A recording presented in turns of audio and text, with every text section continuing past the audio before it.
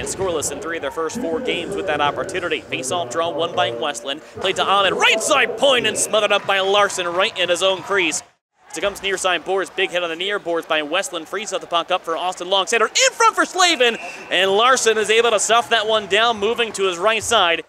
The Storm do have it far side boards played up the half wall to the point, and they'll set up their 5 on 4 advantage. Kester off to his left side.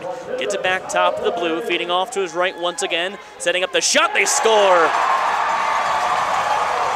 It was a shot from the far end that was tipped in front, and it looked like maybe Connor McMenamin may have been the last one to touch that down with 2.22 to go in the first. Tri-City on the board first, it's 1-0. And just didn't last for the amount of penalties that they had to kill off in that opening frame, including the third, which carried into the second period. Storm have it in down low, feeding back in front, back in a shot by Cipollone, and Shadig is there to smother up the puck. He was all alone to the right side of the netminder, and Shadig shut the door. Now up the left side boards they come into the offensive end. Mersch takes down his player. No call comes. Lead pass connects. It's a breakaway for Dornbach. He comes in on his backhand. Forehand tries to shoot. Caught between his skates. Good back check though by Chase Foskey. As another centering feed comes in front for Mersch. He couldn't corral the puck enough for the shot, but uh, Larson didn't like that he hit the stick of Austin Long, and now back through center ice. Bad turnover. Tristan Ashbrook, shorthanded breakaway. He's on his forehand. He shoots, just hits the crossbar. He nearly had the second and two game for the Stars shorthanded, but just couldn't beat by the five by three. The Stars win the ensuing face-off draw, but a quick spill by Christian Krieger loses the puck back the other way. They score.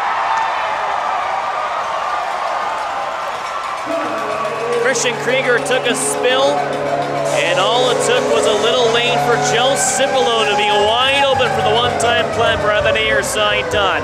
That's Cipollone's second goal of the season, and just 10 seconds into the third, it's a 2-0 Tri-City lead. Cole Krieger couldn't sweep it out of his own zone, so Summers will get it blue line.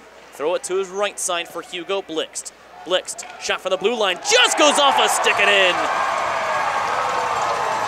It touched a player in front of the net and just beat by Shadig's blocker hand, crossing to the other side. The second power goal for Tri-City tonight. Now they have a 3 to nothing lead. Trying to center it, bounce off a Storm defenseman. Carter Long gets a right side point. 30 seconds left on the power play. Ashbrook to Long, top blue line. Wrist shot saved by Larson. Rebound there, third chance. Just scoots out wide. Connor had the opportunity. Maybe been the last final gas the Stars had to put it on net. It's cleared out to center ice on a little high skyward chip by Tri-City. Five more seconds remain. The Storm will duck behind their own net, and that'll do it here from Viaero Center in Kearney. A few lucky bounces, but it was all Tri-City tonight. They shut out the Stars 3-0 as their first shutout win of the season, and the Stars drop both games this weekend, fall down to three and two on the season in the first of two straight games against the Storm.